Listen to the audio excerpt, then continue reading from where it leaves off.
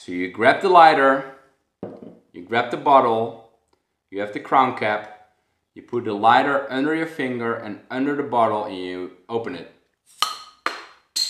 And that's how you open a bottle with a lighter.